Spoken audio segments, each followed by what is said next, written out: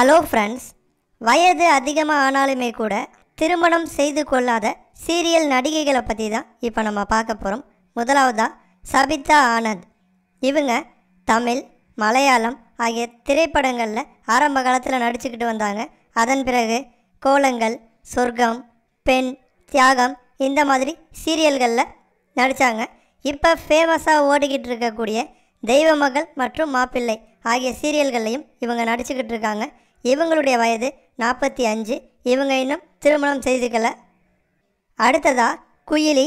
ஆரம்பத்தில் திரைப்படங்களில் மட்டுமே கவனம் செலுத்திக்கிட்டு வந்த குயிலி. அதன் பிறகு சீரியலுக்கு வர ஆரம்பித்தாங்க சீரியலில் பார்த்தோன்னா அன்னி கோலங்கள் தாயுமானவன் ஆகிய சீரியல்களில் இவங்க நடிச்சிருக்காங்க. அதோடு சேர்த்து சரவணன் மீனாட்சி கல்யாணம் முதல் காதல் வரை ஆகிய சீரியல்கள்லையுமே இவங்க நடிச்சிருக்காங்க.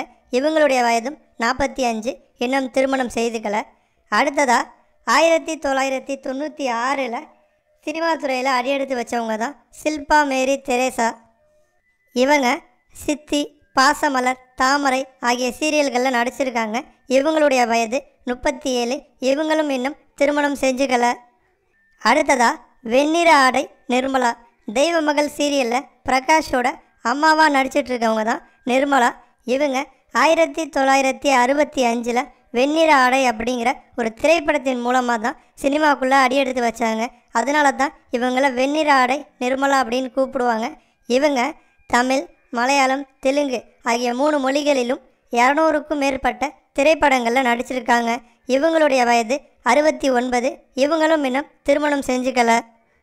அடுத்ததா புவனேஸ்வரி. இவங்க ரெண்டாயிரத்திலிருந்து ரெண்டாயிரத்தி பதினாலு வரைக்கும் திரைப்படங்களில் நடிச்சுக்கிட்டு இருந்தாங்க.